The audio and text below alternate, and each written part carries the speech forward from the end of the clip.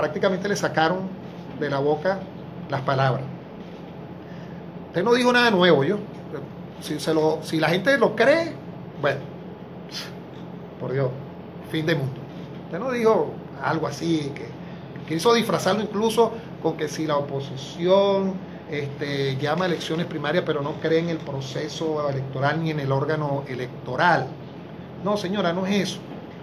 Mire, señora, usted sabe lo que ocurre, que dentro del Consejo Nacional Electoral hay algunos procedimientos que se hacen, de los cuales uno tiene cierta duda, y que nosotros tenemos este, la posibilidad de reclamarlo, le guste a usted o no le guste, lo vamos a seguir reclamando.